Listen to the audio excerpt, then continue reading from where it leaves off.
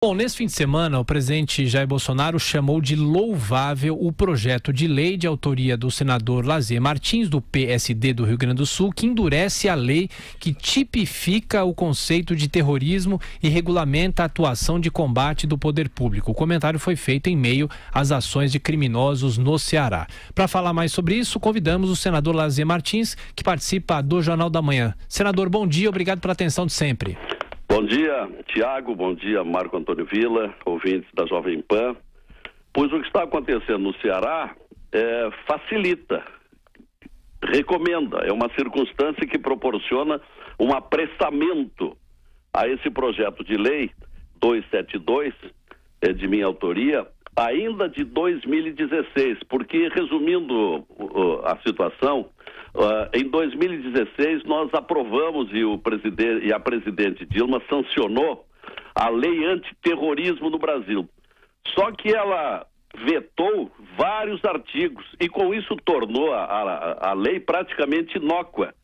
E aí, logo em seguida, eu entrei com esse projeto de lei restabelecendo eh, artigos como esse aqui, ó, que é o, é o, é o parágrafo que a, assumiu a condição de parágrafo primeiro do artigo 2 Incendiar depredar, saquear, destruir ou explodir meios de transporte ou qualquer bem público ou privado, com o objetivo de forçar a autoridade pública a praticar ato, abster-se de praticar ou a tolerar que se pratique ou ainda intimidar certas pessoas, grupos de pessoas ou a população em geral. Isto é, causar, causar pânico, causar terror social. Esse é o objetivo.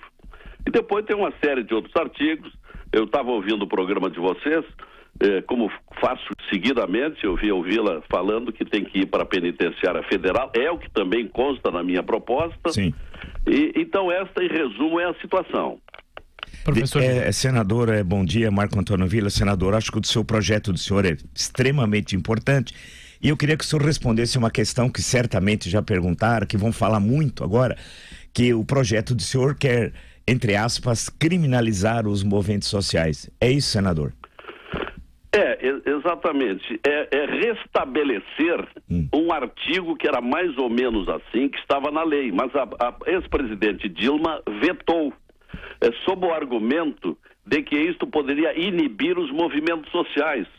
Ora, Vila, Tiago, ouvintes, é evidente que, que um movimento de protesto, uma passeata, não tem nada a ver com atos de destruição, é isso que estamos vendo. O que está acontecendo na, no Ceará é tipicamente o que se enquadra nessa situação. O que, que eles querem lá? Eles querem que se revogue aquelas medidas fáceis que, que de, de, liberalidade dentro das penitenciárias. Sim. Então é, um, é, um, é uma queda de braço entre os bandidos e a autoridade. Sim. Deixa eu, é, o, trâmite dessa, desse projeto do senhor, como é que está? Olha, Bia, está na seguinte situação, já deveria ter sido votado. Nós tivemos uh, várias sessões na, na, Comissão de Constituição e Justiça em outubro e novembro. Mas em determinado momento, um grupo de, de senadores, liderados pelo Lindbergh, é, pela, pela, pela Lídice da Mata, pela, pela Graziotin, contestaram e pediram uma audiência pública. Nós realizamos a audiência pública. E no dia 20 de, de, de novembro, nós deveríamos ter votado na comissão.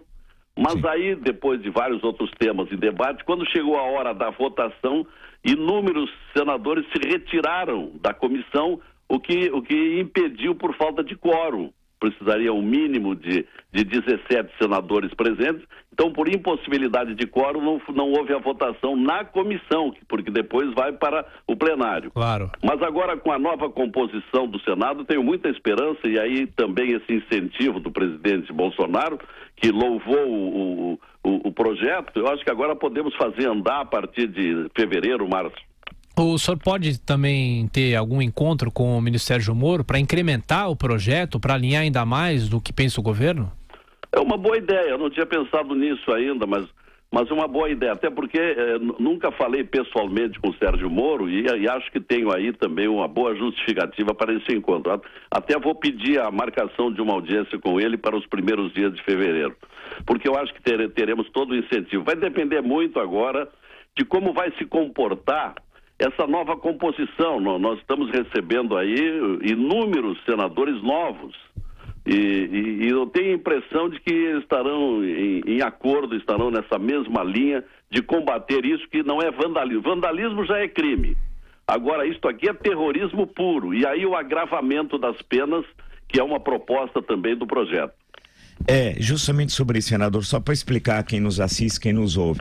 No caso de alguém, vamos pegar um, um episódio para separar o que, que é movimento social, democrático, manifestação ordeira, de uma ação de ataque à propriedade pública, que, privada, colocar, tem risco a propriedade, que seria uma ação terrorista, creio. Então vamos eh, tentar explicar e o senhor, por favor, nos diz. Por exemplo, aqui em São Paulo, inúmeras vezes o MTST liderado por um cidadão chamado Guilherme Boulos, que, presidi, que foi candidato inclusive a presidente, teve uma votação ínfima ele invadiu os prédios públicos, algumas vezes com rojões, atirando rojões, quebrando é, vidraças, destruindo o patrimônio público. Fez em Brasília isso.